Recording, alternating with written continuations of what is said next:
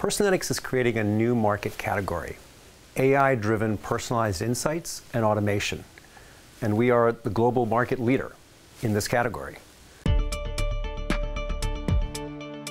We enable banks to help their customers better understand their day to day banking, make better decisions, and improve their financial well being. While banks have enormous data on their customers, 43% of consumers say their primary bank really knows them. Only 14% are satisfied with the degree of personalization that's delivered by their bank. This results in a wide disparity of customer experience scores, which has a direct correlation with deposit growth and customer profitability.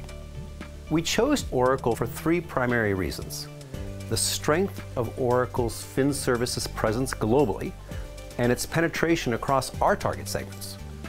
Second, Oracle's commitment to delivering the preeminent set of cloud-based industry solutions.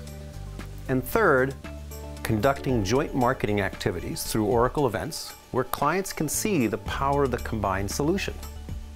The primary benefits we see with the Oracle Cloud are one, a robust and a growing partner ecosystem, two, security first and a services based architecture with an emphasis on core to edge security, and three, commitment to open cloud that enables clients to pursue tailored cloud strategies.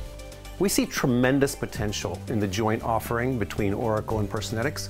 We enable FIs to deliver insights and advice to show their customers they know them and they're looking out for them. Our proposition allows banks to build trust and develop a sense of advocacy with their customers. Our vision is one of self-driving finance, where banks deliver automated solutions that helps each customer save, invest, or pay down debt in a way that's tailored based on the customer's cash flows and individual needs.